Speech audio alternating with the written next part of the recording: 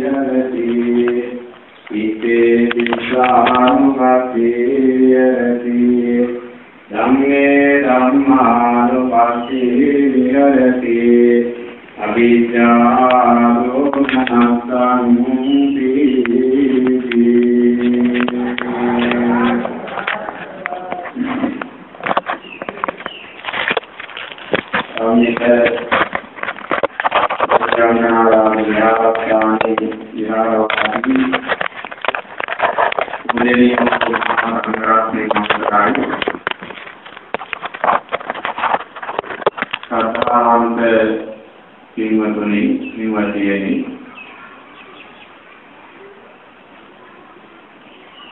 අතර පොය දවසේ කෙළවර විතරම මේ මොහොත දක්වාම පින්කම් කටයුතු පවත්වාගෙන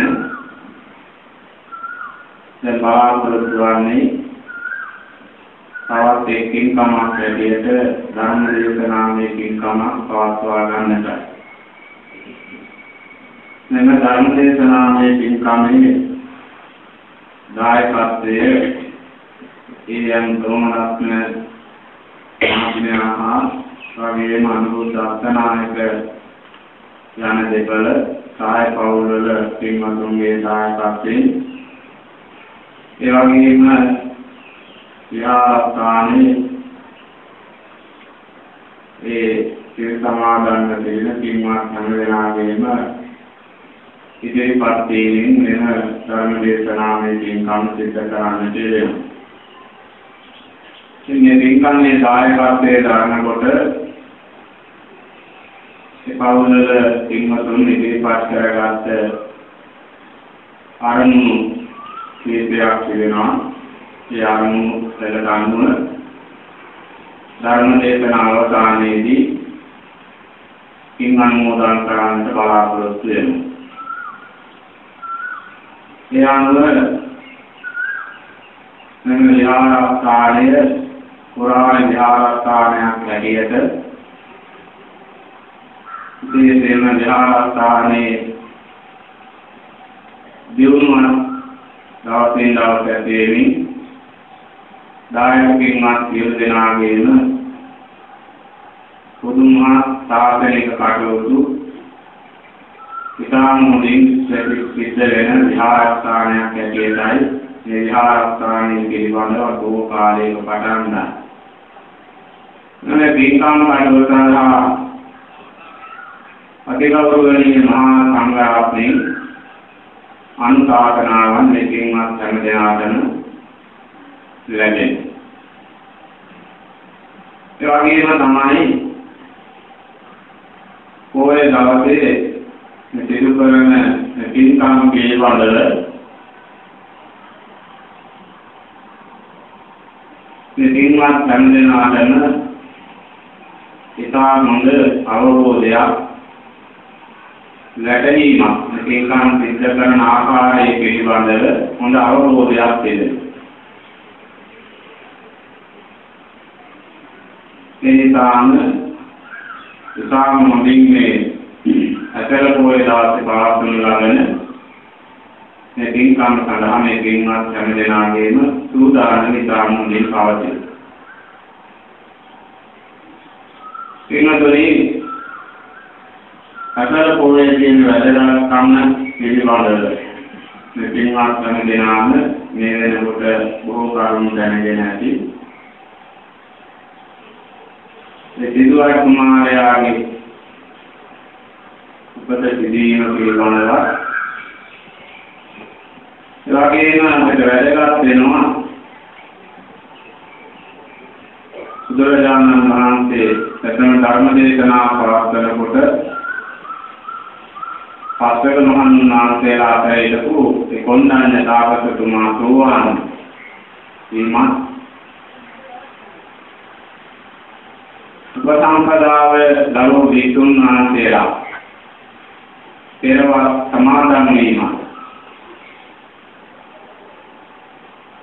එනම් යාලිත කුමාරයා 56 දෙනෙක් ශ්‍රී ලංකාවේ උපසම්පදාව ලැබීමක් වාලී දෙවියන්වහන්සේගේ වැඩනතර වීමෙන් අනතුරුව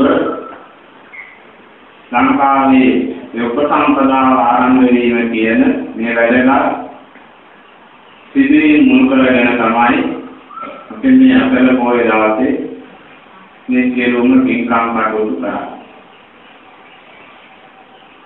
මේ විදිහට මේ පොයේ දවසේ කරන පින්කම් වලට සහසම්බන්ධ වෙන්නට දායක වෙන්නට පින්වතුනි උගේට කත පුණ්‍යතා. පෙර කරන ලද පින් ඇති බව දෙන්නේ නැහැ. ඒ පෙර කරන ලද පින් ඇති බව ඉස්හාම සමාජ අදහසක් පහළ වෙනවා. ඒ පොයේ දවසේ පෙර දවසේ සූදානම් වෙලා ඒ තෙල් සමාදානෙන් වුණ වගේ මනිකුත් ඒ පින්කම් කටයුතු වලට සම්බන්ධ වෙන්නට ඕන කියන යදහස හැම කෙනෙකුටම පහළ වෙනවා. අද ඒ වෙනුවෙන් අද අතර පොයේ දවසේ වෙනුවෙන් මේ පින්වත් හැම දෙනාම පළමුවෙන්ම තෙල් සමාදානව කටයුතු සිදු කරනවා. මේ සීලය පිළිබඳව කාය වාචාන සමෝදාන සීලා කාය වාචන දෙකේ සංවර බව ඉක්මීම තමයි සීලය කියලා පැහැදිලි කරන්නේ. ඒවල මේ හැම සිල්පදයකම හැම සිල් හැම සිල්පදයකම තියෙනවා වේරමණී කියලා. වේරමණී කියලා කියන්නේ වෙන්වීම කියන අර්ථයේ තේරුම අදහස ලබා දෙනවා. එන්නේ වැරදි දේවල් වලින් වැරදි වැඩ වලින් වෙන්වීමට තමයි සිල් සමාදන් වෙනවා කියලා අදහස් කරන්නේ. ඒකෙන් තියෙනවා නිත්‍ය සීලය සහ අභෝධ සීලය. නිත්‍ය සීලය ඇටියට පන්තිල් පිළිබඳව පැහැදිලි වෙනවා. අභෝධ සීලය ඇටියට ඔය දවස් සමාදන් වෙන අට සීල ආජීවක අෂ්ටමක සීලය සහ දස සීලය පිළිබඳව පැහැදිලි කරනවා. තුරන් මේ නිත්‍ය සීලය බෝධ දෙදෙනේදී මේ සිල් සමාදන් වීමෙන් බලාපොරොත්තු වන්නේ එක පැත්තකින් අපේ ආධ්‍යාත්මික වශයෙන් යම් ගුණ වගාවක් ඇති වෙනවා. ඒ වගේම තමයි සමාජය තුළ ගත්තාම ඒ දෙන්න අපි කොහොමද මේ සමාජය තුළ ජීවත් වෙන්නේ කියන ඒක පිළිබඳව බොහෝ දේවල් ඉගෙන ගැනීමට අවස්ථාවක් කරගන්නට පුළුවන්. මෙහෙම නැතුවම අපේ හිත දැන් පොයේ දවසේ කරන පින්කමකට සම්බන්ධ නොවි විසුරුණු සිතක් ඇති කරගත්තට පස්සේ තමයි සමාජය තුළ අර ගොඩාක් අපරාධ බහුල වර්ධනය සිද්ධ වෙන්නේ. අපේ හිත එක අරමුණක පිළිතුරා ගන්නට බැරි වුණා. එනිසා හිතේ අරමුණකට ගෙනීම සඳහා තාම වැඩගත් වෙනවා පින්වතුනි පොයේ දවසේ මේ සිදු කරන මේ පින්කම් කටයුතු වලට සහ සම්බන්ධ වෙනවා. ඒත් එක්කම බලාපොරොත්තු වෙනවා පළමුවෙන්ම විශේෂයෙන්ම දාම් දෙපීම පිළිබඳව දාම් දේශනා කිරීම පිළිබඳව ඒ වගේම තමයි ධර්මය දහම් ශ්‍රවණය කිරීම කියන මේ කාරණාවන් දෙක පිළිබඳව ඉතා කෙටියෙන් පැහැදිලි කිරීමක් කරනවා. හරි පළමුවෙන් බලන්න ඕන පින්වතුනි බණ දේශනා කිරීම. බුදුරජාණන් වහන්සේ පැහැදිලි කරන්නේ සබ්බ දානං ධම්ම දාන දිනාති දානයන් අතරින් උතුම්ම දානය තමයි ධර්ම දානය. ඒ පින්වතුන් හැටියට මහා සංඝරත්නයේත් සිරුපාතේ උපාස්ථාන ආදී කටයුතු කරනකොට මහා සංඝරත්නය දීපින්වතුන්ගේ ගුණ ජීවිතයේ ජීවිතය සාර්ථක කර ගැනීම සඳහා මඟ පෙන්වීමක් කරනවා අනුශාසනාවක් කරනවා. ඒක තමයි මේ අවස්ථාවේ තාම වැදගත් වෙන්නේ. ඒතර මේ පණිවිඩය කොහොමද අපි ගෙනයන්නේ?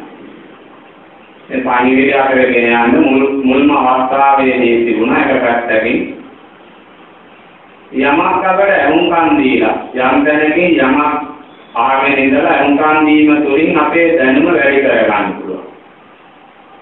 ආම්දුරු නමක් වෙන්න පුළුවන්, ගුරුවරයෙක් වෙන්න පුළුවන්, වැඩිහිටියෙක් වෙන්න පුළුවන්. අපිට යම් දෙයක් කියා දෙනකොට ඒකට අපි ඕනෑකමින් නෙමුම් ගන්නවා. ඒක අනුන් කාන් වීම තුලින් ඉගෙන ගැනීමක්. දැන් මුල්ම අවස්ථාවේදී වන්පතේ සඳහන් කරන ආර්යවංශ ධර්ම දේශනාවක්. ඒ කියන්නේ තාමත්ම විශ්වාස උගත්ම දේශකයන්න් වහන්සේ නමක් වැඩම කරලා අවත පටන් ගන්න ධර්ම දේශනාවක් පහන් වනතුරු පවත්වන ආර්යවංශ ධර්ම දේශනාව. ඒ සමගම දැනුණා පොතපත ලිවි සහ පොතපත කියවි. පොත්පත් කියවීමෙන් අපිට දැනුම ලබා ගන්නත් පුළුවන්. පොත්පත් ලිවීමෙන් අපිට තවත් දැනුම වැඩි කර ගන්නත් පුළුවන්. මේ දෙකෙන් අපි කරනවා. ඒත් මේ විදිහට ගත්තාම ඉතාමත් වැදගත්ම පින්කම් දෙකක් තමයි බණ ඇසීම සහ ධර්මයේ දේශනා කිරීම සහ බණ ඇසීම කියන මේ පින්කම් දෙක. මේ පින්කම් දෙක වැදගත් වෙන නිසා මංගල සූත්‍රය, මහා මංගල සූත්‍රය, මංගල සූත්‍ර මංගල කර්ම වලින් දෙකක් තමයි බණ ඇසීමයි බණ දේශනා කිරීමයි. ඉතින් මේ තුලින් අපි බලාපොරොත්තු වෙන්නේ මොකක්ද? මේ බණ දේශනා කිරීම තුලින් යම් අඩුපාඩුවක් සිද්ධ වෙනවා. ඒ යන කෙනෙක් අතින් යම් යම් අඩුපාඩුකම් සිද්ධ වෙනවා. වැරදීම් සිද්ධ වෙනවා. වැරදි නොවන කෙනෙක් නැහැ.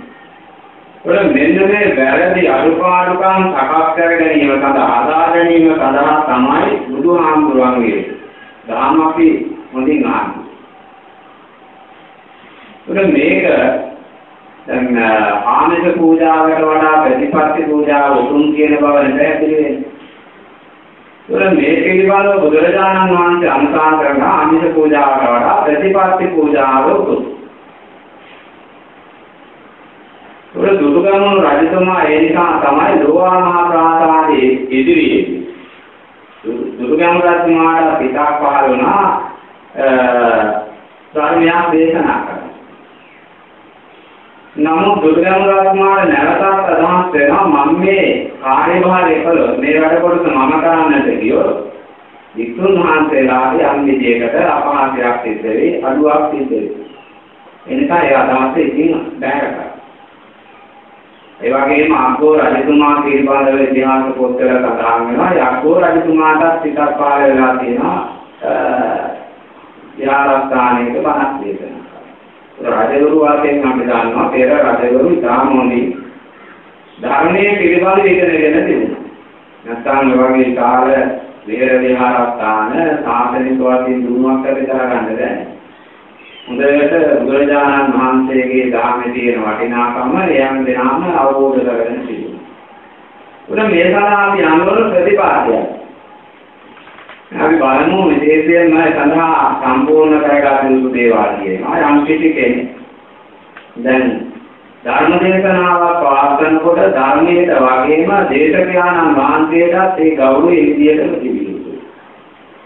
ඒ ගෞරවය තිබෙන නිසා තමයි මේ පින්වත් හැමදෙනාම යම් ධර්ම දේශනාවක් විහාරස්ථානයකෝ ගෙදරකෝ නිවසේදීව පවත්වනකොට ඒ පාදෝලණය කරලා ඒ වගේම පාව කෙරලා උසාකණයක් පනවලා උර මේ ධර්මයේ තියෙන ගෞරවය නිසාම නිහතමානී බව තියෙන නිසාම දින වාඩි වෙලා මේ මේ සඳහා පෙර සූදානමක් වශයෙන් ඇති කරගන්න. මේ පින්කම් සැබෑ පුළුවන් කටින ධර්ම දේශනා තියෙනවා. ආමන්තුන් ධර්ම දේශනා තියෙනවා. මේ විදිහට ඒ ඒ අවස්ථාවන් වලට ඔබින ආකාරයේ ධර්ම දේශනා පවත්වනවා නම් ඒකට යම් නාමයකුත් නමකුත් අපිට ලබා දීලා තියෙනවා. අපි බලන්නට අවශ්‍යයි මේ පින්වතුනි සාමනීර වනදාම් පොතේදී පැහැදිලි කරලා දීලා තියෙනවා. වික්තුණා සාමනීර පොඩිහාමුදුරුවෝ විශේෂයෙන්ම කුල කුමරුවෙක් ඇටියට විහාරස්ථානයේ යම් පරිවාස කාලයක් තියෙනවා මහරෙන්නට පෙර ආතුව මේ පරිවාස කාලයේ තුල ඒ ඒ කොළකුමරුවා සයිලාමයා පාඩම් දීපු කොටස් ඇටිය තමයි සාමනීර වන්දනම් පොත පිළිබඳව කියනවා. මේ සාමනීර වන්දනම් පොතේදී ධර්මදේශනා පාස්තන තන පිළිපැදිය යුතු ආකාරය පිළිබඳව පැහැදිලි කරනවා. උන්වහන්සේ පැහැදිලි කරලා තියෙනවා ඒ ස්ථානයේදී පොතේ යම් කෙනෙක් විදේශ වාසයෙන්ම උසු ආසනයක දේශකයන්න් වහන්සේ නමක් වැඩෙන්නේ ඊට වඩා උසු ආසනයක ධර්මයේ බණ අසනා වාඩීමක් වෙන්නේ නැහැ. ඊළඟට ඉස්සතුන් ඉස්සතුන් පාවන් කලදීමක් කරලා තිබෙනවා නම් ඒ අයට සුදුසු වන්නේ නැහැ බුදුරජාණන් වහන්සේගේ ධර්මයේ දේශනා කිරීම. ඒ වගේම තමයි යම්කිසි කෙනෙක් පැවිදිමකින් ඉන්නවා. පැවිදි නවස්ථා ඉරියව් වෙන වෙන ආකාරයෙන් පවත්වාගෙන යනවා නම් ඒ වගේ කෙනෙක් ඉදිරියේ ධර්ම දේශනාවක් කරතීම සුදුසු වන්නේ නැහැ. ඒකට මේක ඉතාම හොඳින් පැහැදිලි වෙන අවස්ථාවක් තමයි. නිගෝධ සාමණේර හාමුදුරු පොඩි හාමුදුරු සත්කවුරුන්ගේ පසුන නිගෝධ සාමණේර හාමුදුරු සෝබරාජතුමාගේ සිංහාසනයකගෙන ධර්ම දේශනාවක් කරලා රජතුමාට රජතුමාට එමනම් මම රජවරයෙක් කියලා කල්පනා කරා මම රජ කෙනෙක්. සිරුරක් පොරවගත්ත අවුරුදු හතක පොඩි හාමුදුරු නමක් කියලා ඒ ගෞරවය දක්වන්න නිවිදිනවා ඒ ගෞරවය අවුරුදු 7ක් සත්වරුන්ගේ පාසුනේ නිගෝධ සාමණේර ආඳුරන්ට රජවරයෙක් වාසේ අර දහම් පාණිවිඩය ලබා දෙන වෙලාව ඉතාමත් මොදින් පැවතුණු විදිය පිළිබඳව සඳහන් වෙනවා. එනිසා මේ පින්කමේදී අපේ පින්වතුනි විදේශ වාසයෙන් මේ නිරතල බලතල ඒ කිසි දෙයක් අවශ්‍ය වෙන්නේ නැහැ. බොහොමත්ම ගෞරවයෙන් යුක්තව, පැහැදීමකින් යුක්තව ධර්ම ගෞරවය ඇති කරගෙන මේ පින්කම සිද්ධ කරගත යුතු අවකාශය.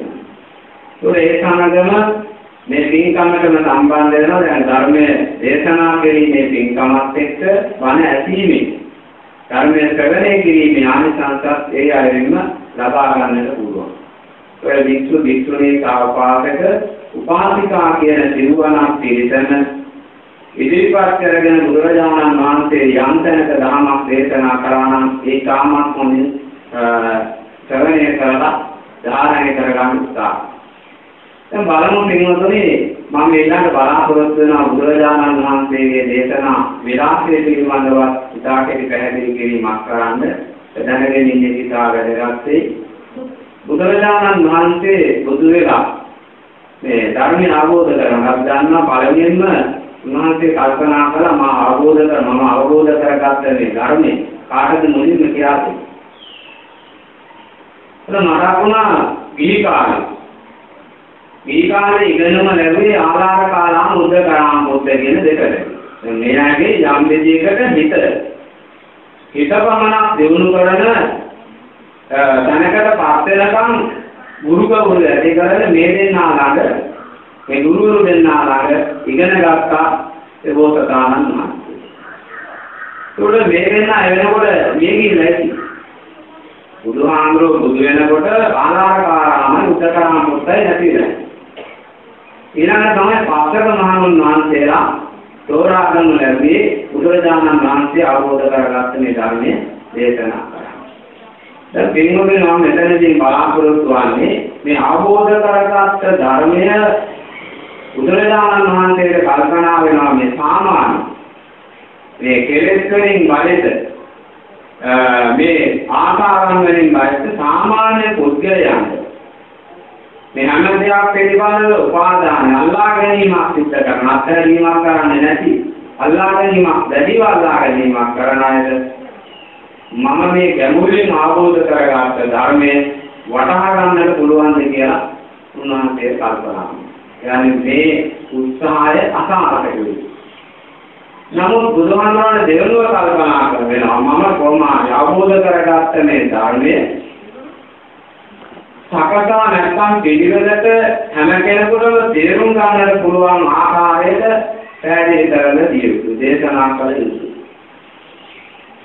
එහෙමනම් පින්වතුනි සිරුවානම් පිරිසක් වාසයෙන් පැහැදිලි වෙන වික්ෂු වික්ෂුණී උපාසක උපාසිකා කියන මේ පිරිසට සකසා දහම් දේශනා කිරීමක් තමයි බුදුරජාණන් වහන්සේ අතින් සිද්ධ වෙන්නේ. දැන් සකසා දහම් දේශනා කරනවා කියලා අපි අදහස් කරන්නේ මොකක්ද? යම් කිසි කෙනෙකුට අලුතෙන් යමක් හිතන්න. අලුතෙන් යමක් විමසන්න. පුළුවන්කම ලැබෙන විඤ්ඤාණ පුරුෂයෝ කියලා ගන්න නැත්නම් පඬිතුයන්ට උගතුන්ට ඥානවන්තයන්ට බුදුරජාණන් වහන්සේගේ ධර්මයේ ධර්ම දේශනා කරලා තිබෙනවා. තුර මේ දේශනාවට යනකොට එතනදී බුදුරජාණන් වහන්සේගේ දේශනාවන් වලින් එක් දේශනාවක් තමයි ආනුභූති කතා පිළිවෙල දේශනාව කියලා කියන්නේ. දේශනාවන් වලින් එක ආනුභූති කතා පිළිවෙල දේශනාව. මේ ආනුභූති කතා දේශනා කියලා කියන්නේ බුදුරජාණන් වහන්සේගේ ඉගැන්වීම් වල ගතොත් පටිච්චසමුප්පාදයේ ආර්මය චතුරාර්ය සත්‍ය මේ වගේ මූලික ඉගැන්වීම් ටිකක් තියෙනවා. මේ මූලික ඉගැන්වීම් ටික පිළිබඳව ගැඹුරින් යම් කිසි කෙනෙකුට කියා දෙන්නට ගියොත් මේක සමාහට අසාර්ථක වෙන්නත් පුළුවන්. තා මූලික පසුබිම පරිසරය සකස් කරනවා.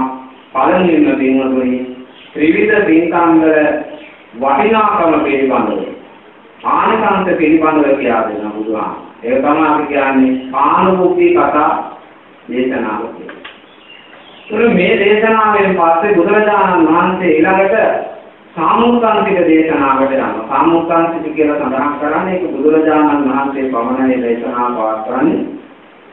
ඒක 50 අතන දැන ධර්මයේ දේශනා කරන තැන ඉන්න පිරිස දිහා බලලා ඒ එක් එක්කෙනාගේ හිතට ඔබින ආකාරය ඒ ගැළපෙන ආකාරයට බුදුරජාණන් වහන්සේ ධම් දේශනා කරනවා.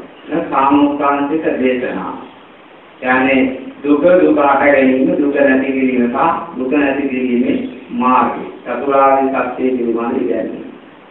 ඒකට මේ ඉගැන්වීම කරනවත් එක්කම බොහොම ඉක්මනින් අර සුදු සුදු පිරිවැඩයක් යම් තැනකින් යම් නිල්කියක් දැම්මාට පස්සේ බොහොම ඉක්මනින් ඒක අල්ලා ගැනීමක් සිද්ධ කරනවා වගේ පින්වතුනි ඉතාම ඉක්මනින් මේ ධර්මයේ බුද්ධයා අවබෝධ කරගන්නවා නා සාමුක්කාන්තික දේශනාව. ඊළඟ තමයි පරියාය දේශනාව කියලා තවත් දේශනාවක් පිළිබඳව සඳහන් වෙනවා. දැන් පරියාය ගත්තොත් එහෙම වේදනාව කියන වේදනාව කියන ධර්ම කාරණාව මේක කොටස් වශයෙන් ගත්තාම උදායි දරුන් වහන්සේ වේදනාව කියන එක දෙවදරුන් හතරවදරුන් පස්වදරුන් ආදී වශයෙන් විස්තර කරලා තියෙනවා. හැබැයි බුදුරජාණන් වහන්සේ මේක තවදුරටත් ඉතාම සරලව කෙටි කරලා පැහැදිලි කරපු තැන් තිබෙනවා. ඒ නිසා විශේෂයෙන්ම මේ අවස්ථාවේදී මම මේ තුලින් බලාපොරොත්තු වෙන්නේ බොහොම ඉක්මනින් දහම් කර්ම කාරණාවන් අවබෝධ කරගන්න අර වටහා ගන්න අය ඉන්නවා. ඒ වගේම ටික වෙලාවක් ගත වෙලා දහම් කර්ම කාරණාවන් අවබෝධ වෙන වැටෙන අය ඉන්නවා. ඒ වගේම තමයි ඒ දහම් කරුණු කාරණා වැට එන්නේ නැති අය හරියට වාඩි වෙලා ඉන්න තැනකට නැත්නම් ලෝකුවට අපි යම් දෙයක් ළඟ තියෙන දෙයක් බොහෝ දේවල් අපි රැස් කරගන්න. සුගුඩ රැස් කරගෙන ඉවරලා ඒ පිළිබඳව කල්පනාවක් නැති උතපාරකම නැගිට්ටොත් එහෙම අර රැස් කරගත්ත සියල්ලක්ම බිමට වැටෙනවා. අන්න ඒ වගේ කෙනෙකුට ඇතැම් අවස්ථාවන් වල මේක ඉතාම හොඳින් මනාව හිතට අරගෙන මේ ධර්ම කරුණු කාරණාවන් තේරුම් ගත්තොත් වටහා ගත්තොත් ඒක තමන්ගේ දලව ජීවිතේ යහපත් කරගන්නට ඒ වගේම පරලොව යහපත නිවන් අවබෝධයේ පිණිස හේතු වෙන බව සඳහන් කරන්නට පුළුවන්කමක් ලැබෙනවා. ඒ අදහස බලාපොරොත්තු වෙනගෙන මේ කෙටි කාලයේ තුළ මේ ධර්ම දේශනාව පවත්වන්න බලාපොරොත්තු වෙනවා. අද මම ධර්ම දේශනාව සඳහා මාතෘකා කරගත්තා. කවුරුත් ඉන්නතුනි අපි හැම දෙනාම උඩ බැරිහිටියන් පස්සේ හැම වෙලාවෙම මතක් කරගන්න, දීපත් කරගන්න, ළඟ ළඟ ලබා ගන්න පොතක් හැටියට තමයි කරකන්නේ සතිපට්ඨාන පොත ඒ සතර සතිපට්ඨාන සතර සතිපට්ඨාන සූත්‍රය මුල් කරගෙන ලැබී ඇති කාලයට අනුකූලව බලාපොරොත්තු වෙනවා මේ යම් ධර්ම කරුණු කාරණාවන් ටිකක් පහදලා දෙන්න. ඒකෝර බුදුරජාණන් වහන්සේ මේ සතිපට්ඨාන සූත්‍රයේ දේශනා කරේ කුරු ජනපදයේ කුරු වැසියන් ඉන්න ජනපදයේ මේ විසුණු වහන්සේලා ආරම්භය තමයි බුදුරජාණන් වහන්සේ මේ සතිපට්ඨාන සූත්‍රය දේශනා කළා තිබෙනවා. අනුපාතනාවන් වශයෙන් ගත්තාම මේක කොටස් හතරකට බෙදෙනවා. හැම දෙනාම දන්නේ නැති මේ කොටස් හතර පාඩම් නැති කායානුපස්සනාව, වේදනානුපස්සනාව, චිත්තානුපස්සනාව හා ධම්මානුපස්සනාව කියලා තමයි අනුපස්සනාව වශයෙන් පැහැදිලි වන්නේ. මේ අනුපස්සනාවන් අතරින්ම බලාපොරොත්තු වෙනවා මේ අනුපස්සනාවන් හතරම පැහැදිලි කරන්නට අවස්ථාව නෙවෙයි. අනුපස්සනාවන් දෙකක්. කායානුපස්සනාව සහ වේදනානුපස්සනාව කියන මේ අනුපස්සනාවන් දෙක පිළිබඳව පැහැදිලි කිරීමක්. ඇයි පින්වතුනි අපි මේ සතිපට්ඨාන සූත්‍රය නැත්නම් මේ සතිපට්ඨාන සූත්‍රේන ධර්ම කරුණාකාරණාවන් පිළිබඳව මෙහි කළ යුතු වන්නේ. හැම කෙනෙක්ම මේ සතිපට්ඨාන සූත්‍රයේ මේ ධර්ම කරුණාකාරණාවන් ගැන අනිවාර්යයෙන්ම ඕදිනේක භාවනාවේ යෙදෙනකොට සිහිපත් කළ යුතුම වෙනවා. මොකද භාවනාවේ යෙදෙනකොට සිහිපත් කළ යුතු වන්නේ මේ සතිපට්ඨානය වැඩිම තුලින් ලැබෙන ගොඩාක් අපිට මේ ආනිසංස තියෙනවා. ඒ ආනිසංසයන් අතර එකක් තමයි අපේ හිත පිරිසුදු කර ගන්නට පුළුවන්. හිත පිරිසුදු කර ගැනීම සඳහා මේ සතිපට්ඨානෙ අපි වඩනවා. ඒකට හිතේ ස්වභාවය පිළිබඳව දැන් ධම්මපදයේ සිද්ධ වාක්‍යයේ හිත පිළිබඳ ඉතාමදී පැහැදිලි කරනවා. රූරංගමංගේක දරා අකරීරං වාසයන් යෙලිත්තන් සංයමේ සාන්ති මොක්කාන්ති මාර දුර ගමන් ඒකට නම් ශරීරයක් නැතුව මේක දුර ගමන් කරනවා. ශරීරයක් නැති මේක බොහෝ දුර ගමන් කරනවා. දුරාන් ගමන් ඒකට. අකරීරං ගුණාතය. මේ ගුණාවක් නැති ශරීරය. තනිව හැදෙන්න මේ ශරීර මේ මේ හිත යම් කෙනෙක් දමනය කර ගන්නවා ඒ දමනය කර ගැනීම වෙනතොනි දැනීමට සතුටට කාරණා. ඒක හිත අපි ධානය කරගන්න ඕනේ. හිතේ පිරිසුදු භාවය ඇති කරගන්න මේකේ තාම වැදගත් වෙනවා. ඊළඟට තමයි මේ සතිපට්ඨානයේ වැඩිම තුලින් දුක් දුන්නා. යම් යම් අවිද ශෝක කනගාටුදායක අවස්ථාවන් උදාහරණ. මේ කනගාටුදායක අවස්ථාවකට හිත හදා ගන්නට පුළුවන්කමක් ලැබෙන්නේ මේ සතිපට්ඨානයේ පිළිබඳව ඉතා හොඳින් ගැඹුරින් අවබෝධ කරගත්තාම පමණයි. නැත්නම් අපිට ඒක දරා ගන්නට නොහැකි විද්‍යාව කාරණාවක් බවට පත් වෙනවා. ඒ නිසා ඒක දරා ගන්නට පුළුවන්. යම් කනගාටුදායක සිද්ධියක් ඇති වුණාට පස්සේ සමතේ දරා ගැනීමේ හැකියාව මේ තුලින් ලැබෙනවා. ඊළඟට තමයි විශේෂයෙන්ම මෙලොව පාරලව යහකට පිළිබඳ යහකට සුභසිද්ධිය ඇතිවීම ඒ වගේම නිවන් අවබෝධය පිණිස ආර්ය අෂ්ටාංග මාර්ගය අවබෝධ කර ගැනීම පිණිස මෙන්න මේ සතිපට්ඨාන කියන කරුණු කාරණා සතිපට්ඨාන ධර්ම කාරණාවක් මෙනෙහි කිරීම ඉතාම වැදගත් ඒ අතරින් ගත්තොත් මේ ධර්මදේශනා මාතෘකාව සතිපට්ඨාන. උඩ සතිපට්ඨානේ කියලා අපි පැහැදිලි කරගන්නේ සතිය කියලා කියන්නේ සීය. සීය පිටවා ගැනීම සතිපට්ඨාන. සීය පිටවා ගැනීම කියන අපි සතිපට්ඨානයි කියන්නේ. සිහිය පිළිගවා ගැනීම ගත්තාම ඒක කොටස් වශයෙන් ගත්තාම එක පැත්තකින් යම් දෙයක් දැනට අමතකුණා. ඒ අමතකුනේ මතක් කර ගැනීමට කියන අපි සිහිය පිළිගවා ගැනීම. දැන් සමන් ළඟ තියෙන මොනවා හරි දෙයක් උපකරණයක් ද්‍රව්‍යයක් මොනවා හරි නැතුණාට පස්සේ අපි ඒ පිළිබඳව මතක් කර ගැනීමක් කියනවා. කොතනද අපි ඉන්නේ කොතනද මේ පාන්නේ තිබ්බේ මේ ආදි වශයෙන් ස්ථාන පිළිබඳව මතක් කර ගැනීමක්.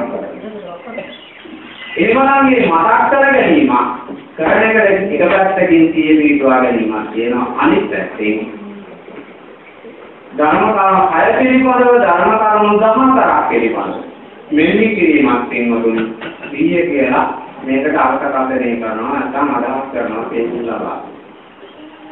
මූලික වාක්‍යය අපි දන්නවා පින්වතුනි අපි හැම කෙනෙක්ම මේ හුස්ම ගැනීම කියන එක කරා. මේ කිසිම කෙනෙක් හුස්ම ලෝකෙ හිතුවොත් හුස්ම ගන්න නැහැ කියලා කියන්නේ එතන සමාධි කාර්යයේ නිරුද්ධ. නැත්නම් ක්‍රියාත්මක නැහැ වැඩ කරන්නේ නැහැ කියන්නේ.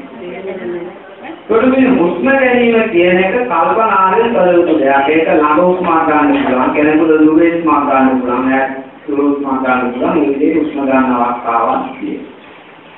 මේ හුස්ම ගැනීම සම්බන්ධව වාසයේ ලබා ගැනීම සම්බන්ධව වමුණන්ගේ මතයක් වෙලා තිබුණේ මේක වෙනස් නැවුම්කාරයෙක් විසින් මවන දෙයක් මේක. ලබා දෙන දෙයක් කියන පිළිගැනීමක් තිබුණා. හරියට බැලුණයක් අරගෙන. ඒ බැලුණේට අපි පිටින් මේ වාතය ලබා දෙන බැලුණේ කොම්බනවා වගේ. නිදීමක් ඇති වෙනවා වගේ. ඒක ඒගොල්ලෝම මතය වුණ හුස්ම කොයින් හරි ලැබෙන දෙයක්. හුස්ම කොයින් හරි ලැබෙන දෙයක් නේ. ඒක ස්වභාවිකවම මේ හුස්ම ගැනීමක් අපි කරනවා.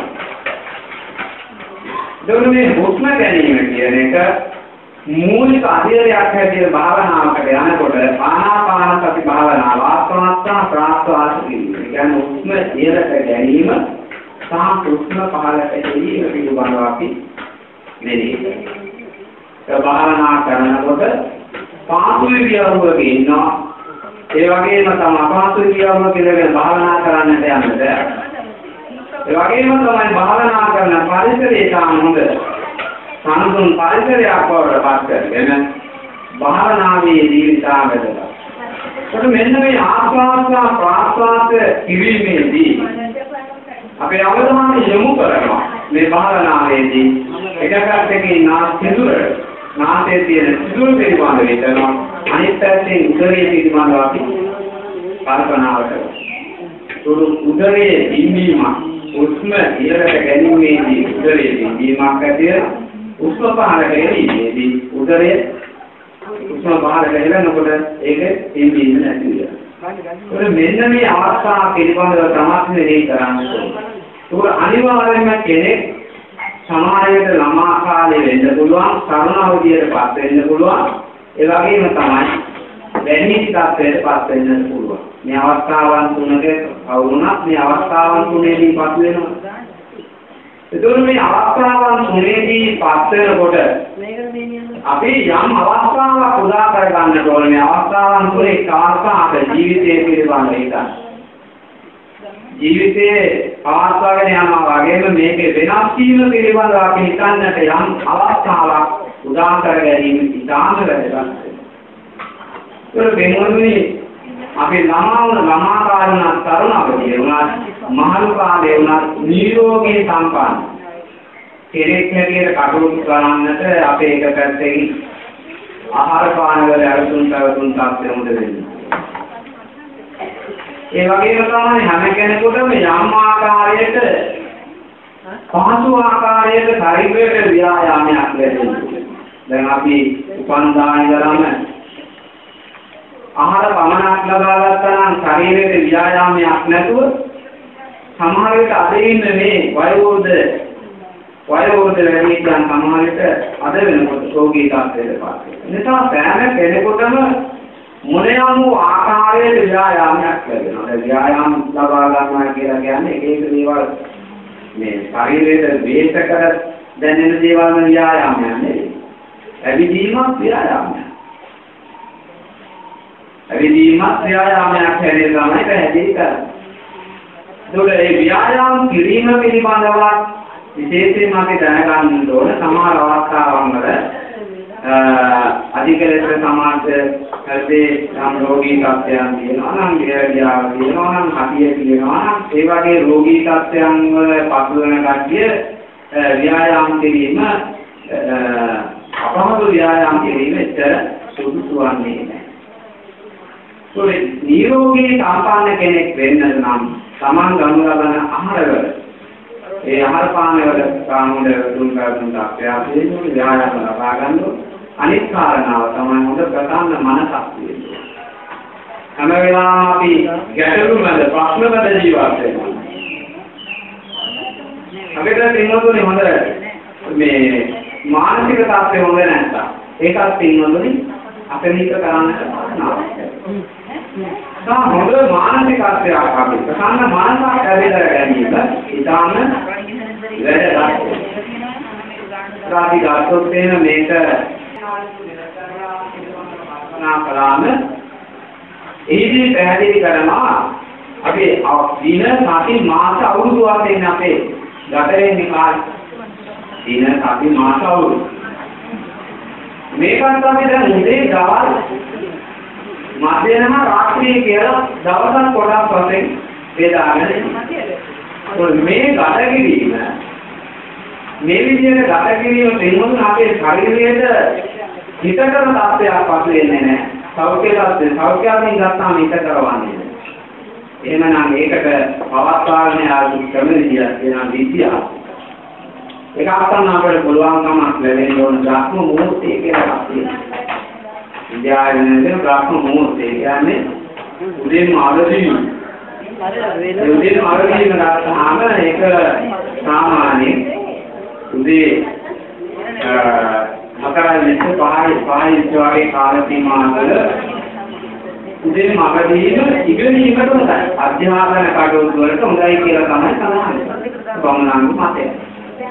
ඊට උදේ මගදුනාට පස්සේ ඊළඟ ඉස්සර වන්දනාව කියලා එකක්. දැන් තමන්ගේ ඇදහිීමට අනුකූලව ඒ සාස්ත්‍රෝයයන් වන්දනාමාන කරගෙන කරන්නේ.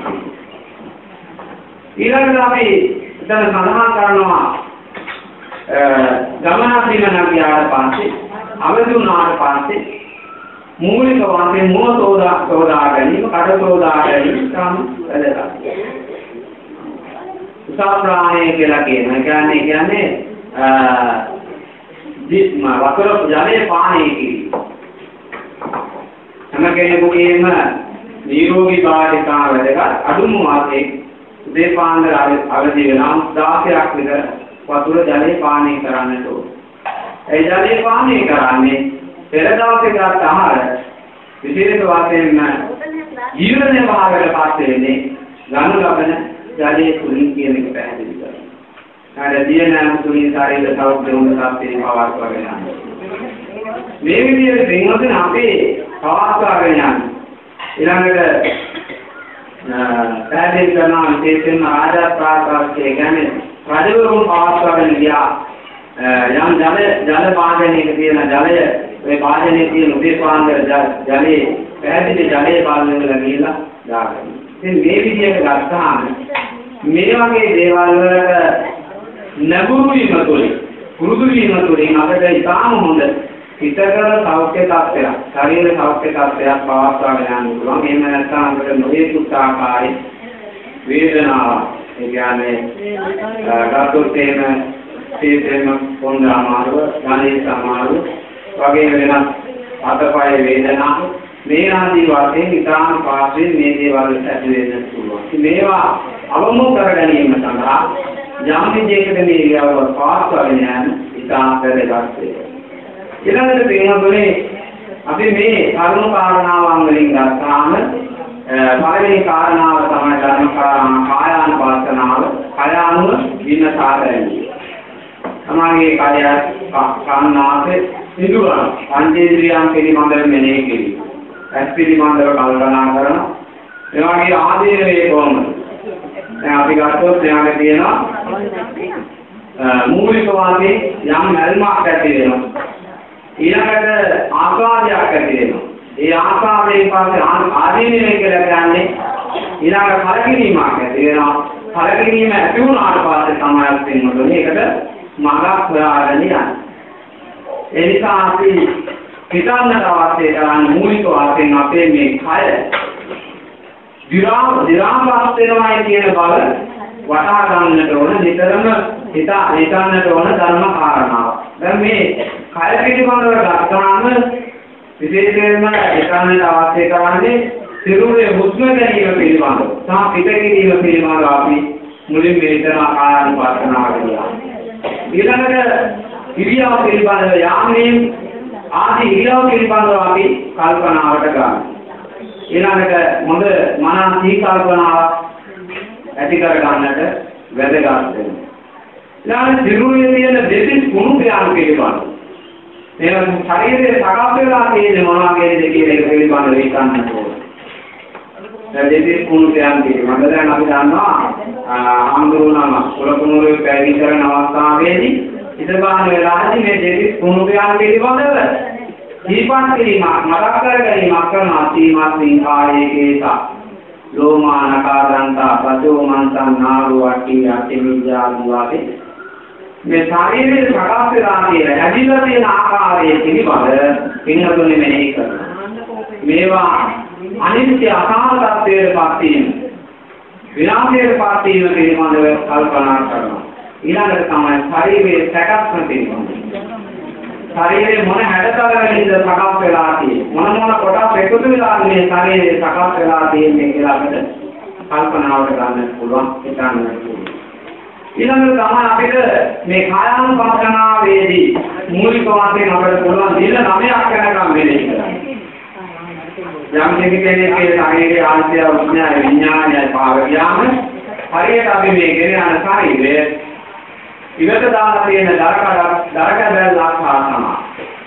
ඒකත් පස් වුණාට පස්සේ පළවෙනි දිනේ ඇති වෙන මේ වෙණියේ ස්වභාවය පිළිබඳව අපි පළවෙනි දවසේ වෙණියේ ස්වභාවය ගැන හිතනවා. දෙවෙනි දවසේ තුන්වෙනි දවසේ දින 9ක් වෙනකම් මේ ශරීරයට මේ මේ ශරීරයට මොන වගේ ශක්තියක්ද ඇති වෙන්නේ කියන පිළිබඳව අපිට මෙනෙහි කරන්න පුළුවන් කමක් ලැබෙනවා. අර වගේ ඒ වගේ මෙනෙහි කිරීමක් කරාම උපාදාන වශයෙන් අල්ලා ගැනීමක් කරන්නේ නැතුව ඒ සියල්ලක්ම පින්වතුනේ අත්හැරීමක් කරන්නට තමයි මේ තුලින් අපි බලාපොරොත්තු වෙන්නේ. අත්හැරීමක් කරන්නේ. සමහර අවස්ථා අපේ ජීවිතය පිළිබඳ කිසි කෙනෙකුට විශේෂ වශයෙන් කියන්නට බෑ. එහෙම කියන්න පුළුවන් කමක් නැත්තේ. තා අවිනිශ්චිතතාවය අස්තිර ස්වභාවය පිළිබඳව අපි තේරුම් ගන්නට අවශ්‍ය කරන අපේම අය බොහෝමයක් ඉන්නවා. දැන් සමහර අවස්ථා අපි දන්නවා වයසට ගිය වයෝවෘද්ධ වැඩි වීම අය සමහර විට ආසන්නම අවස්ථාවේදී ආගමික කටයුතු සිද්ධ කරා. පිරිසියක් කියලා ආශිර්වාද කරන් යන ඒ වගේම ආගමික කටයුතු සිදුවේ. වගේම යම් යම් රෝගී තත්ත්වයන් නිසා රෝගාගත වූ රෝගීන්ට සමහර විට පිළිසියක් කියන්නේ ඒ ඥාන පස්සේ ඔවුන්ගේ ක්‍රියාකලාපේ ඇතුළීම දිහා බලන්න. සමහර අවස්ථාවන් වල ඒ කට්ටිය අත්හැරීමක් සිද්ධ කරගෙන යනවා. තා මේක එකපාරටම කරන්න පුළුවන් දෙයක් නෙවෙයි. හැම දෙයක්ම අත්හැරලා මේ නිදහස් වෙලා එහෙම කරන්නට බෑ මේක ක්‍රමක්‍රමයෙන් ටිකෙන් ටික පුරුදු පුහුණු කරගත යුතු දෙයක් හැටියට තමයි පින්නතුනි සඳහන් වෙන්නේ. ඒක ආකාර අනුපස්සනාව කය අනුව සිතාදැනීම සාකරීම ඉතාමත් වැදගත් වෙනවා. ඊළඟට වේදනාව කියලා වේදනානුපස්සනාව කියලා කියන්නේ දිදීමයි ඉවසීම කියන කාරණාවයි මේක ප්‍රධාන වශයෙන් වේදනාව කොටස් තුනකට බෙදෙනවා සුඛ දුක්ඛ උපේක්ඛා කියලා. සමහර වෙනකොට ලබන ලද වේදනාව සුඛයක් නැත්නම් සැපයක් වෙන්න පුළුවන්. ඇතැම් කටියට මේක දුකක් පහළ වෙනවා. සමහර කටියට මේක නැදහක් ආවේ උපේක්ෂාවේ දරා ගන්නට විද දරා ගන්නට සිදු වෙනවා.